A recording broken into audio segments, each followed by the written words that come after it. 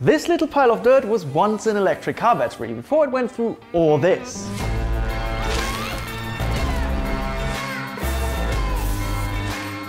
And now you have all the good stuff, cobalt, nickel, manganese and lithium in here. And the idea is to turn these raw materials into a new battery again.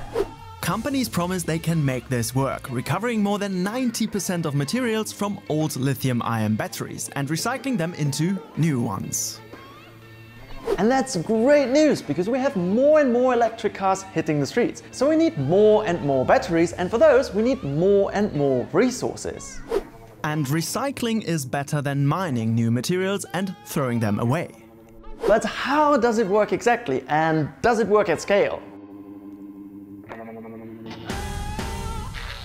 To find out, we initially hoped to film with a battery recycling company in Europe, but apart from releasing promo footage like this, the industry seems pretty secretive. Thankfully, universities are much more open, which is why we came to TU Clausthal. Here the focus is on metal recovery, just the perfect fit for us. But before we go in, I'll give you a quick rundown of how a car battery turns into a small piece of dirt. There are several ways, but this is one of them. First, the battery arrives at a recycling facility and gets discharged. After, it's taken apart. This is done by hand, which means it's expensive, but we'll get to that later. The battery then gets shredded. The liquid parts get extracted and different methods of grinding and sifting leave you with these base materials. Metals from the battery housing, plastic and a bit of aluminium and copper. But the stuff that everybody is after is this. Black mass. This contains all the valuable materials like lithium, cobalt, nickel and manganese, but also graphite, that's why it's black. And today we're gonna get all of them out of there, but that's not my job, but theirs. This is Luca Metke, a doctoral researcher at TU Clausthal, and his chemical lab technician Maike Gamenik.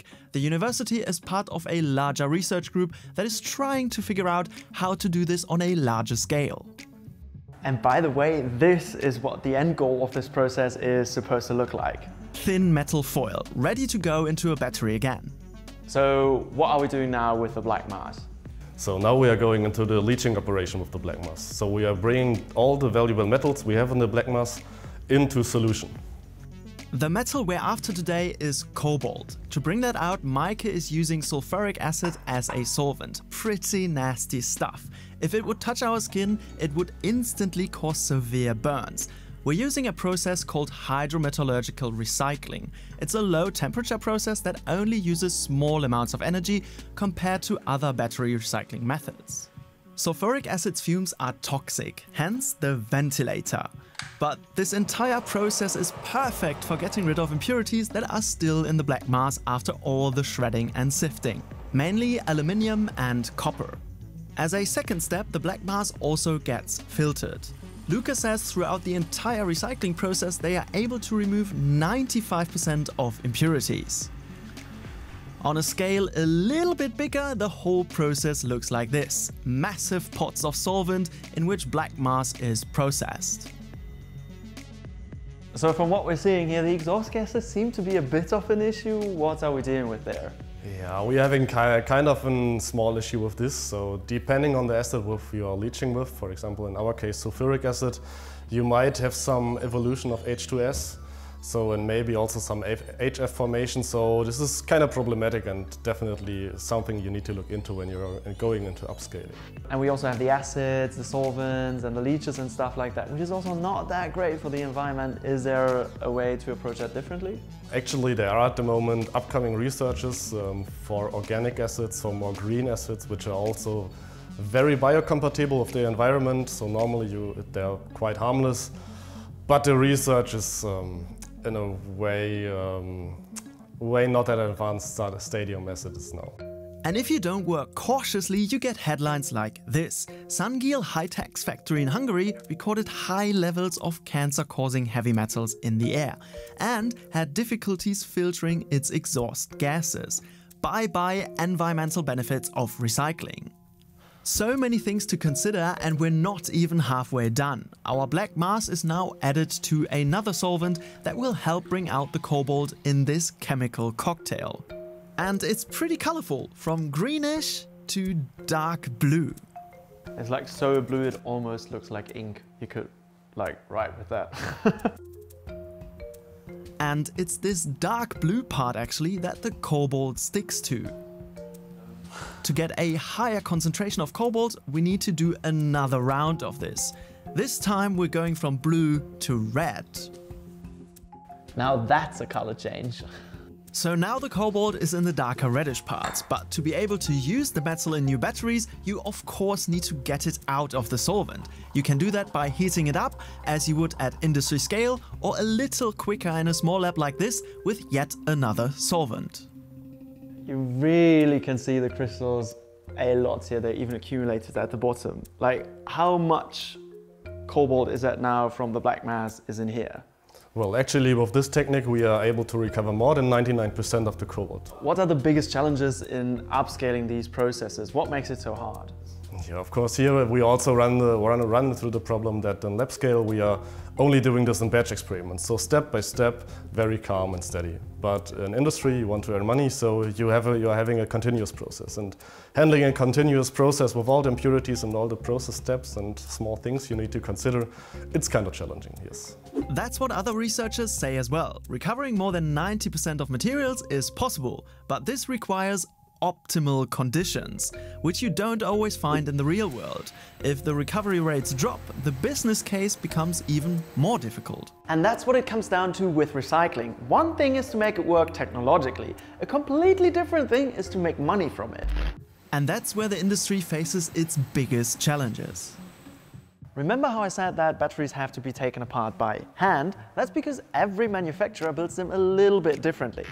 This means machines can't currently do all of the job, and that drives up costs. So does the most expensive part of the process, the hydrometallurgical recycling.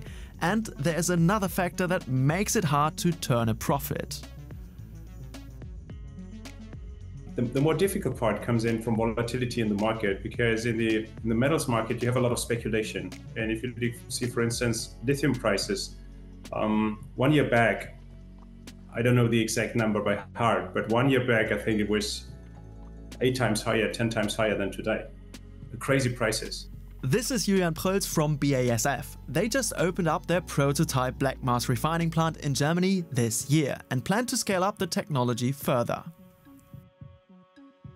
The volatility in the market is, is a stress to everybody who mines or who recycles.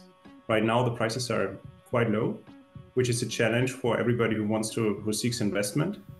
Basically, if prices are high, recyclers make more money. But the question is how much? Consulting firm McKinsey expects recyclers to make around 800 to $1,600 per ton of battery. It's really about how much do you pay when you acquire the material.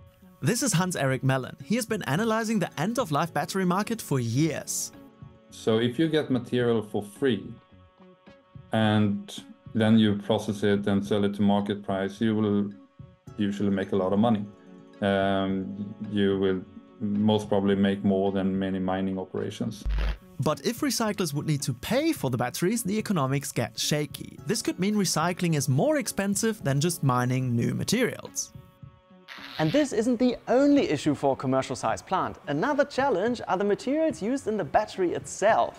It could be a whole bunch of combinations. Lithium iron phosphate, lithium manganese oxide, lithium nickel cobalt aluminium, or lithium nickel manganese cobalt. And the last one even comes in different compositions. 1 to 1 to 1, 6 to 2 to 2 or 8 to 1 to 1. It's the wild west out there when it comes to battery manufacturing, which makes it more difficult to build tailored commercial plants. You have to build them for the largest possible amount of the individual material, like nickel, high nickel, 811 for instance. Uh, the ratio to the other components, you have to have a really huge nickel separator. Whereas if you're having a 111, you have to be able to precipitate a lot of cobalt. Then you have to have a huge separator for cobalt. You have to be pretty robust, and that's of course driving the cost, which means that some analysis from some universities predicting the cost of the flow sheets are completely wrong because they, they might go to an optimum case. The bottom line is, in the real world, recycling is much, much harder than on paper. Another problem for recycling batteries doesn't have anything to do with the recycling process itself, but with the missing feedstock. Electric car batteries last longer than previously thought. And after that, they get used for all kinds of other things, like storing renewable energy, which means there aren't as many batteries to be recycled. On a lab scale, recycling batteries is no issue at all. 99% cobalt recovered. Insane. But on a commercial scale, not so much info there. For example, what are we going to do with the harmful byproducts? So there's some questions that still need to be answered. If you did like the video, comment on it, share it, do whatever you want with it. And don't forget to subscribe to our channel. We post new videos on the environment every Friday.